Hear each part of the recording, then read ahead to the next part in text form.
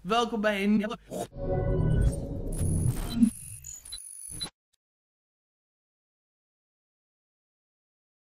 Hey gasten, Tom hier van Bro Gaming en dit is een nieuwe Bro Gaming recap.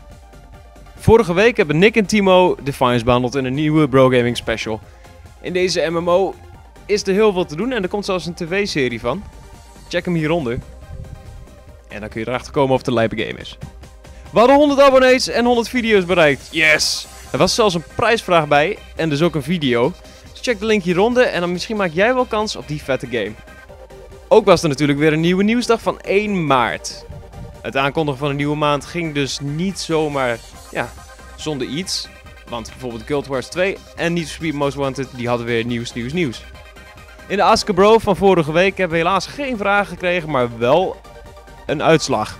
Hadden de uitslag gegeven namelijk voor Dungeonland. Dus check de video om te kijken of jij de winnaar bent.